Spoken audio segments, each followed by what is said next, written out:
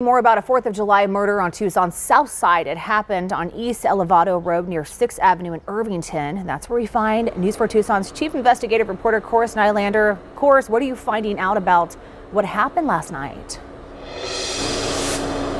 Yeah, Monica, that deadly shooting happened at the home here just over my shoulder. Tucson police say it all happened after an attempted robbery here inside.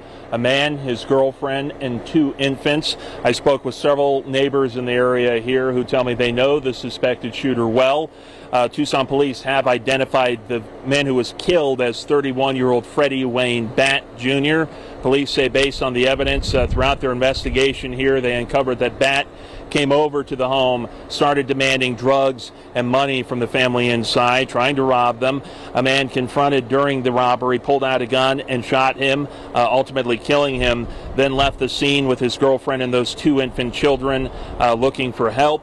Angel Turchis lives next to the home here. He says he knows the suspected shooter well, that he's a 19 year old man. He says he supports his decision to defend his family he's got his girlfriend and kids, and and he was trying to protect his family. I would anybody would do the same, you know, protect your family.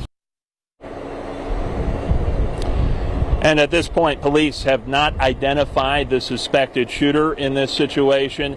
Charges related to this case, uh, they say, are pending. They did make what they called arrests. They used the plural term, uh, but they said it was for unrelated uh, charges to this case. This now marks the 27th murder in Tucson so far this year. As we learn more information, we'll keep you updated. For now, we're live from Tucson South Side. Chorus Nylander, News 4 Tucson. All right, thank you for that update, Chorus. Well, social media posts